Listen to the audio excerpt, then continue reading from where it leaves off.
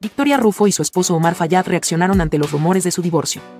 El político Omar Fayad es gobernador priista de Hidalgo, y la actriz Victoria Rufo han sido una de las parejas más estables del mundo del espectáculo. Los rumores de su separación fueron inicialmente difundidos por el periodista de espectáculos Alex Caffey el 1 de noviembre. Ambos al ser interrogados sobre el asunto han desmentido la noticia que se propagó en Internet sobre el fin de su relación de más de dos décadas. Omar directamente confirmó a Milenio que la noticia era falsa, mientras que Victoria, al ser cuestionada por Gustavo Adolfo Infante, optó por burlarse de la reputación de Caffey. Excelente reputación, que poquitos invitados son ustedes, jajaja y el menú, dijo Rufo. A pesar de los intentos de Gustavo Adolfo por obtener aclaraciones sobre el supuesto divorcio mediante una llamada, Rufo dijo lo siguiente. No puedo llamada, estoy con el abogado, ja, ja, gracias. ¿Todo bien? Saludos a Caffey.